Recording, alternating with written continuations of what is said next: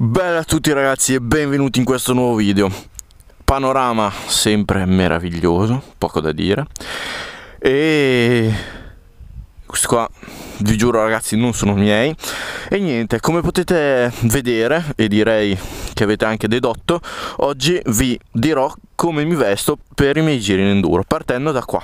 Anzitutto eh, prima di iniziare a dirvi che tipo di calze sono eccetera eccetera vi dico che io in inverno indosso sempre come potete vedere una maglietta termica o arancione o bianca perché sono le, un le uniche due che ho e che tiene abbastanza caldo, sì, e anche dei pantaloni termici. Non sono questi, ce li ho sotto, non sto a togliermeli per farvi vedere, comunque sono classicissimi pantaloni termici. Quindi le calze, le calze sono delle calze completamente sintetiche ovviamente fatte apposta per girare in enduro. Tengono caldissimo ragazzi ve lo assicuro non avete mai il piede freddo. Sono delle calze lunghe arrivano fino al sotto il ginocchio addirittura sopra il ginocchio dipende appunto da, da, quanto siete alti eccetera eccetera e ve lo consiglio davvero un sacco. Due secondi e me le metto.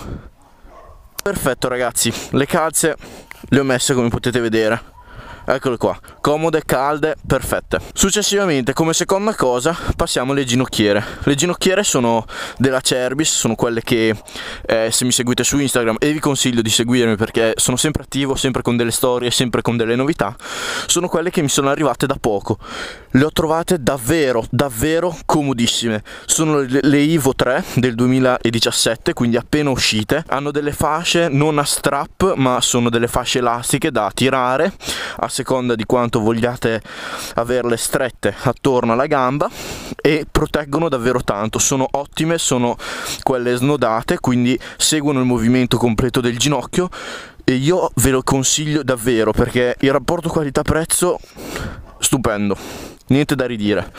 Due secondi che mi metto perfetto ragazzi ora voi non le vedete ma io ho le ginocchiere. Successivamente cosa passiamo alla tuta? Eccoci qua. Allora la tuta non è la mia classica quella fluo perché ce l'ho a lavare. E come potete vedere hanno dei rinforzi a livello delle anche. Quindi sono molto comodi e proteggono anche un pochino me li metto. Ottimo ragazzi. Successivamente passiamo alla parte sopra. Nella parte superiore abbiamo la pettorina che si collega direttamente con il paraschiena. Ho deciso di prendere questo paraschiena della Cerbis che ha è un pochino vecchio, un po' di anni, però funziona da Dio perché mi protegge anche a livello dei reni. Alcuni paraschiena si fermano a questo livello e quindi non ti danno la protezione anche dei reni che è fondamentale che è questa parte bassa qua. Quindi davvero ragazzi se volete una protezione ottimale ve li consiglio. Due secondi che me la metto ottimo. E come potete vedere ho il paraschiena che arriva anche come vi ho detto prima a protezione anche dei reni. Successivamente sempre per la parte superiore del corpo abbiamo questa maglietta in tinta ovviamente con la parte inferiore quindi pantaloni ed è sempre una classicissima maglietta antistrappo. Niente di che ragazzi la trovate in qualunque rivenditore di, di roba da moto da cross quello che volete. Quindi me la metto. Ottimo ragazzi. Come parte quasi finale per l'abbigliamento che io utilizzo abbiamo gli scarponi. Gli scarponi sono classici scarponi della Gaerne G, GSX1 mi trovo comodissimo mi trovo molto bene sono comodi si chiudono bene non reggono ovviamente tanto l'acqua però fanno il loro duro lavoro. Ovviamente hanno la punta rinforzata anche qua hanno una doppia protezione anche dietro piede sinistro piede destro. Me li ok ragazzi mancano questi due paia di guanti qua. Allora partendo da questi vi spiego. Sono dei classicissimi sottoguanti della Tucano Urbano. Io mi ci trovo benissimo non occupano tanto spazio perché non sono molto spessi.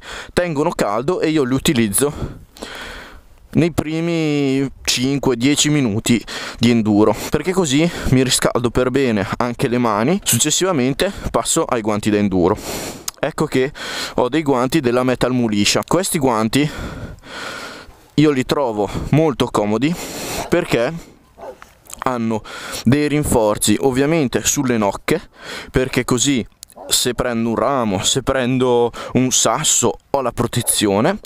Non hanno i rinforzi sulle dita e questo non è il massimo. Ovviamente il top sarebbe avere anche dei rinforzi qua. Successivamente hanno il rinforzo per il gas o per semplicemente la manopola della moto così che non vi sfregate il pollice contro le manopole e poi hanno anche dei rinforzi a livello dei polpastrelli qua Successivamente dovete cer cercare, ovviamente questi sono guanti che utilizzo da un po' quindi l'hanno perso, però dovete cercare dei guanti che abbiano un buon grip.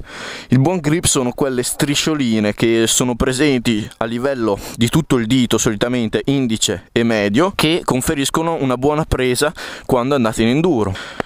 Bene ragazzi per questo video è tutto e noi ci vediamo la prossima volta ragazzi, cosa vi devo dire?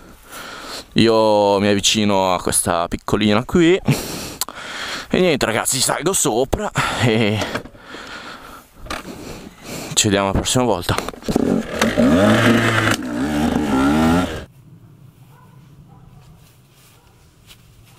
Ragazzi stavo quasi per dimenticare una cosa fondamentale, di fondamentale importanza.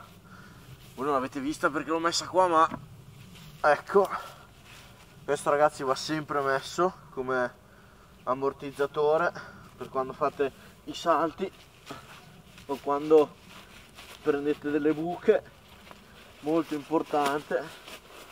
Ecco ragazzi della marca Pampers, io sono allo stadio Corre. Niente ragazzi.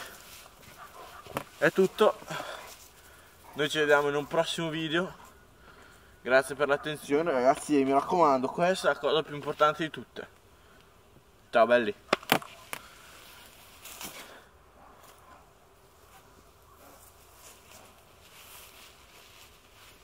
lo usi anche tu Pampers? Oh sì.